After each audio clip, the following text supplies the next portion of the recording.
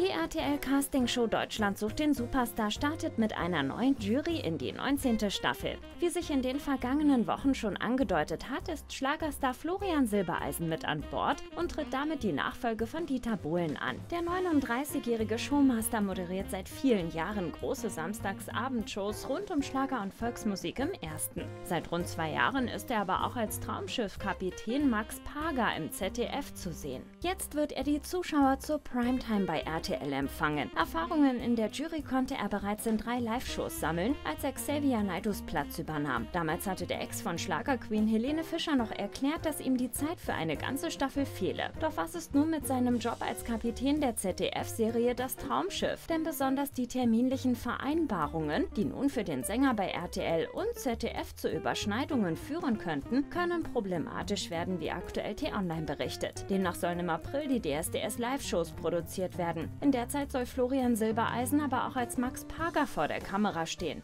Auf eine Anfrage von T-Online dazu reagierte das ZDF bislang nicht.